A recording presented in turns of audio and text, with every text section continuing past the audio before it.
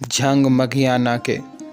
دھندلائے ہوئے ماضی کے افسانے بیان کرتا یہ گردوارہ سنتالیس سے پہلے۔ یہاں بسنے والے سکھوں نے تعمیر کیا تھا۔ سنتالیس میں ہونے والی تقسیم کے اعلان کے بعد جھنگ مکھیانہ میں رہنے والے سکھ اور ہندو ہمیشہ کے لیے جھنگ مکھیانہ کو خیر بات کہہ گئے۔ ان کی جگہ بھارت سے بے سر و زمانی کے عالم میں یہاں پہنچنے والے مسلمانوں نے لے لی۔ دکھائی دینے والا یہ خوبصورت گردوارہ۔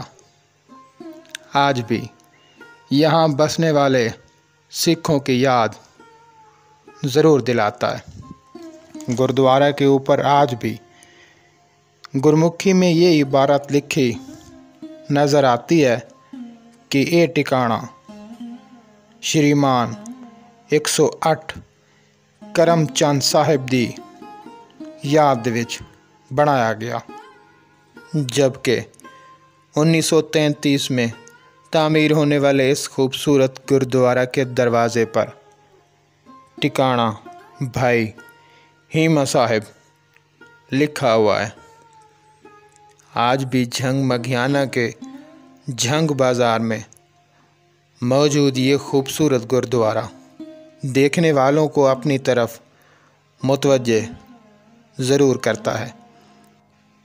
کئی کمروں پر مشتمل اس گردوارہ کے مرکزی دروازے کے ساتھ اس گردوارہ کی سیوا کرنے والوں کے نام بھی درج ہیں، مگر کئی سالوں کی دھول اور مٹی کے باعث اس تختی پر لکھے، ناموں کو پڑھ پانا اب ممکن نہیں رہا۔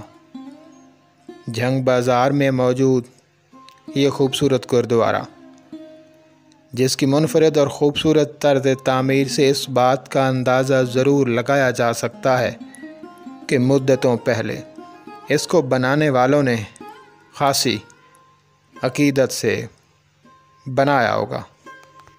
واضح رہے کہ تقسیم سے پہلے جھنگ مکھیانہ اور جھنگ سٹی میں ہندو اور سکھ بڑی تعداد میں آباد تھے۔ اس گردوارہ کے علاوہ آج بھی ان کے بنائے ہوئے مندر دھرم شالائیں اور گھر جا بجا دیکھنے کو ملتے ہیں۔ جھنگ مگھیانہ اور جھنگ سٹی میں بسنے والے زیادہ تر ہندو اور سکھ کاروبار سے وابستہ تھے۔